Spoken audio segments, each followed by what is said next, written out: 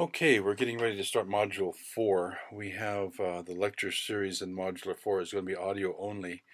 The only picture we're going to have is the one that you have of this water coming down this canyon. It's basically there to take the place of my desktop. This particular um, lecture series is probably going to be in six parts, each one running, each part running about 8 to 10 minutes. Uh, since it's audio only and we're not going to be um, loading up a bunch of pictures, we should have enough uh, bandwidth to be able to uh, handle uh, about 10 minutes.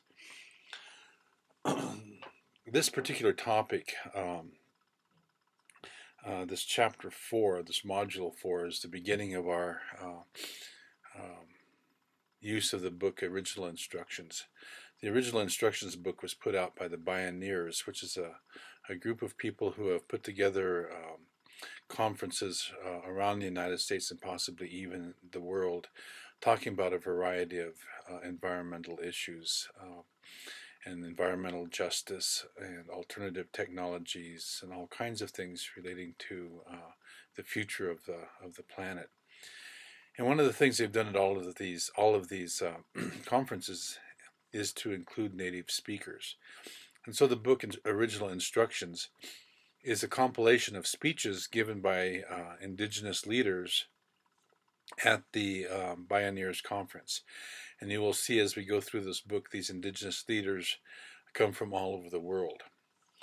Now, the first chapter is about the application of eco-spiritual values, ecological spiritual values. And so, um, in order to put the proper context on that uh, particular topic, what we're going to do is spend some time talking about the relationship between science, Western science, and indigenous knowledge. Now, um, the best way to approach this is probably through the process of uh, comparison. And so we're going to spend some time talking about some particular aspects of Western science. And then we'll come back and we'll talk about some specific uh, aspects of indigenous knowledge. Each one of these, um, I mean, um, I may, I'll probably cover a topic uh, within each one of these um, short little um, uh, lectures here, audio lectures. Now, one of the things that uh, when we look at Western science, we have to consider Western philosophy because worldviews are reflected in the philosophy of the people who, who hold a particular worldview. And when we look at the West, uh, we have to go back and, and look at some of the philosophical bases, philosophical structure of, of the West uh, in order to understand not only how the West thinks, but also what this has to do with science and how did science grow out of this Western philosophy.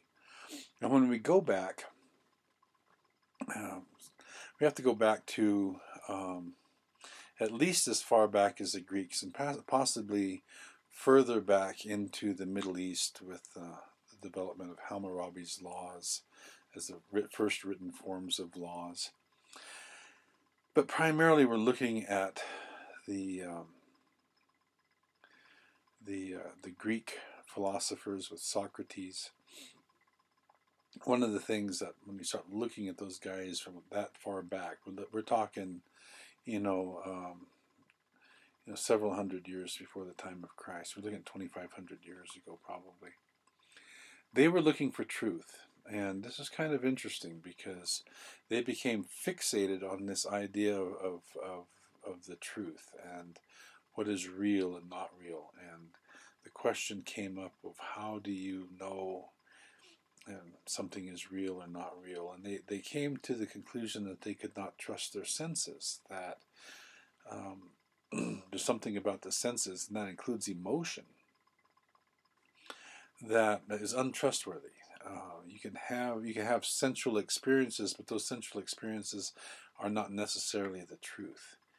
And it gradually progressed to where um, the truth was best understood through the mind and not through the physical um, physical um, uh, perceptions.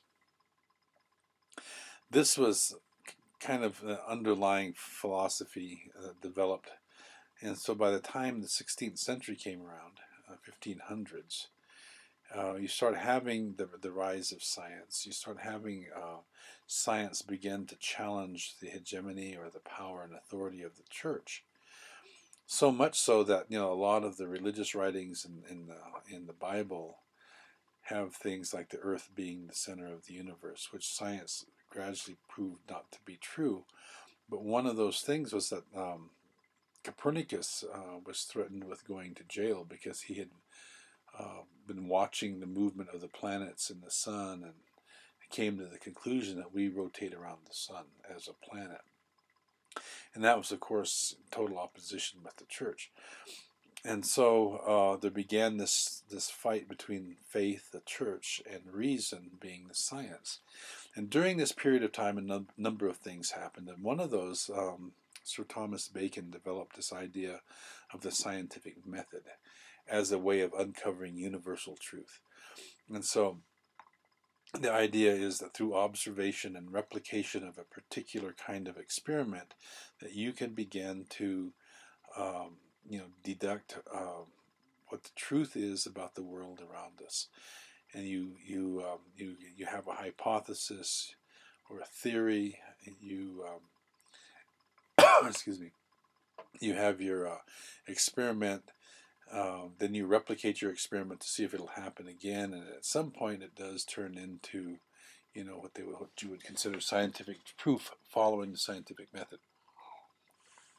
Now, in order to make this scientific method accessible by everybody, one of the things that happened was development of math as a universal language of science. So now, in order to have science and understand science, you also have to understand math. And we start getting these very highly developed uh, concepts, conceptual math of calculus and trigonometry and and uh, formulaic um, processes that are based in mathematics as a way of a language to define or describe the scientific process that just occurred.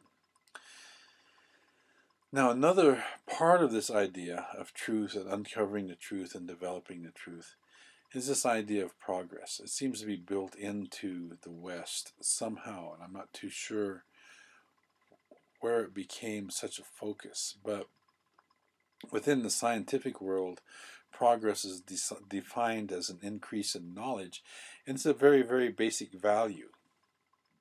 We have today hundreds of colleges throughout the United States that are considered what they call research institutions, and that means that they spend most of their time, most of their money, most of their effort doing research to create new knowledge as opposed to teaching and having relationships with their students and you know the, the, the, the research comes first also within this context of the scientific method and the search for truth not only is progress of basic value but theoretical knowledge becomes privileged within that context.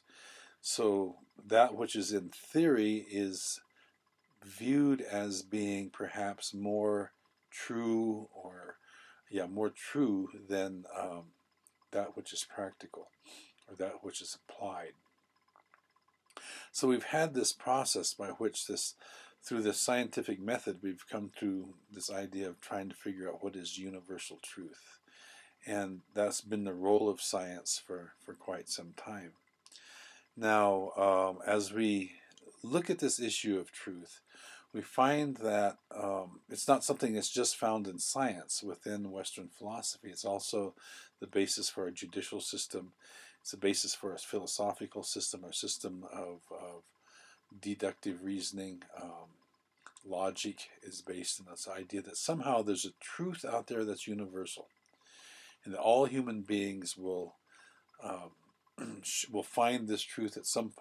point, and to a certain degree, the search for universal truth is also for those people who were um, the religious leaders in the 14 and 15 and 1600s.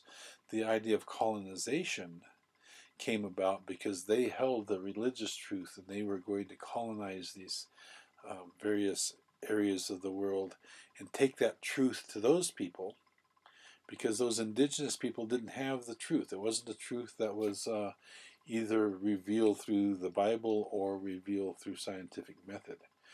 And so we've had this idea of truth as being one of the, uh, and, and the universal aspect of that truth as being one of the primary, um, primary um, values within the context of um, of Western science.